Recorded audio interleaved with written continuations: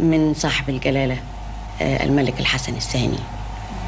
م- يعني مش قادرة يعني أعبر بالكلمات عن الشكر والامتنان للي أحطنا به من عناية ورعاية في أنا وجميع الموسيقيين والمرافقين. وأنتوا حسيتوا بكده كمان. وبعدين دعانا كلنا لعزومة آه، حضر فيها أعضاء آه، البيت الملك. والوزراء وسيداتهم والفنانين والموسيقيين والمرافقين كلهم.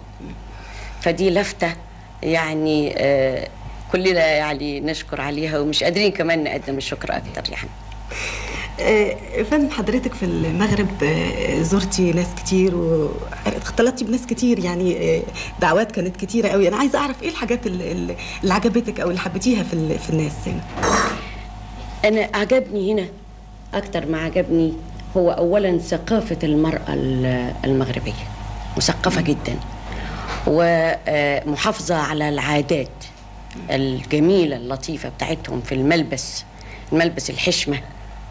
لدرجة إني أنا آه، أول حفلة آه، لبست ال ال ال ال ال الأفطان بتاعهم ده وغنيت بيه وعجبني جدا. هي كانت مفاجأة لينا وإحنا نازلين من المطار جينا نتفرج على الحفلة نشوفها لقينا حضرتك لابسة القفطان. هو أنا الحقيقة حبيته لأنه اولا حشمة ولطيف ويعني من الحاجات اللي, اللي تحتفظ بها قديمه حلوة محببة للنفس والن- والنظر وكل حاجة. غير الملابس. ال- طريقة الأكل. الأكل هنا طريقته لطيفة جدا إن الواحد يغسل إيديه في الأول وبعدين يأكل بإيده. حاجة لطيفة قوي وانما ما يتعداش الأكل الثلاث صوابع. ثلاثة آه اوعي يعني مثلا تقولي ناكل كده بإيدين الاثنين لا عيب قوي. حضرتك كلتي طول الوقت بالثلاث ما صوابع أنا متعودة على كده إحنا في بلدنا كنا بناكل بإيدينا. أنا مش حاجة غريبة عليا ابدا.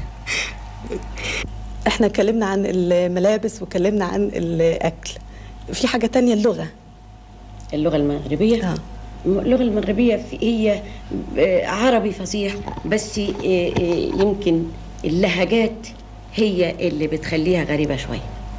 زي إيه فن يعني حضرتك لازم يعني مثلا حاجة زينة زينة يعني حلوة يقول لك عليها مزيان. وبعدين يقول لك كثير يعني آه، كلمة اسمها إيه؟ أنت لازم عارفاها. أنا عارفة. بالذات.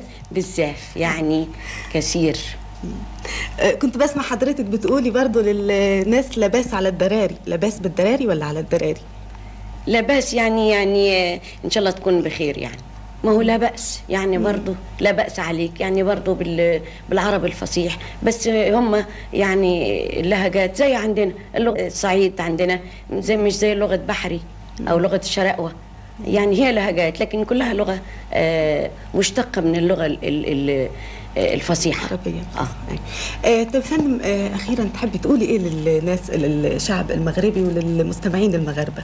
آه، قبل ما أقول لك كده أنا بقى لاحظت إن في الموادن هنا.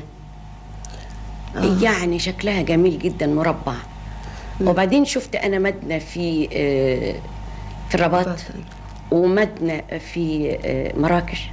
إنما دولي آه، اللي في مراكش من القرن السادس عشر. القرن السادس. آه. إنما منظرهم جميل جدا. يعني مختلفين عن الموادن بتاعتنا كتير. ومن الحاجات كمان اللي لفتت نظري زفة العروسة هنا. زفة العد- العروسة؟ آه. حضرتك آه، آه، كانوا؟ بيقولوها. بيقولوها في كل ما نروح في بيت في الآخر يقولوها. وبعدين يزغرطهم فقلت لهم إيه؟ قالوا دي زفة العروسة زفة العروسة إيه هنا؟ اللهم صل عليك يا محمد. يا سلام. حاجات لطيفة جدا من من أروع ما يكون. ده آه، يعني أنا ملاحظة إن حضرتك آه، آه، استمتعتي بال- بالزيارة هنا فندم فعلا أنا يعني شعب المغرب أثرني بعواطفه. وبحسن استقباله وبكرمه وبعطفته نحو مصر بشكل آه، لا يوصف. والحمد لله إن شعب العرب كله متحد مع بعضه.